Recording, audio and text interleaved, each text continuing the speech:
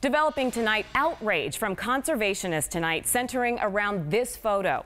Arizona officials confirming it's the pelt of a jaguar that's been living here in the Southwest, an endangered species that was one of a kind, one of the last of its kind.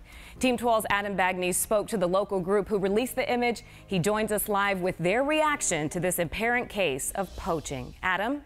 Yeah, Caribe, this was devastating news for conservationists. This animal isn't just rare to Arizona. It was one of the only two known wild jaguars in America. But local officials believe the animal was killed on the Mexican side of the border, so there's really nothing they can do.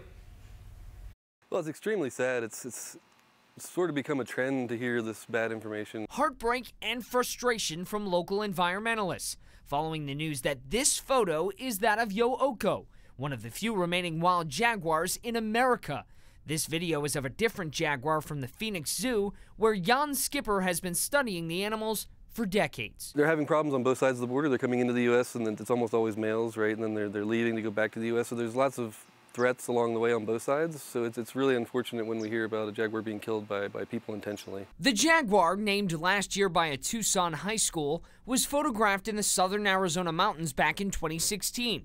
Arizona Game and Fish telling 12 News five biologists examined the photos side by side and determined the spotted pelt was a match. The picture was obtained by the Tucson based Northern Jaguar Project, which will only say that it was taken in Mexico to protect the man who released it. There are a handful of, of conservation ranchers in Mexico who need a lot more support than they're currently getting. They're living in sort of a, an adverse relationship with their neighbors sometimes. And while Schipper says the latest news is discouraging, he says he hopes it leads to more awareness that these amazing animals need to be protected before they're gone forever. We need the entire public, or at least a majority of the public, to be engaged with this. We can't just continue to wait for a new generation to, to come around because there might not be jaguar left by then.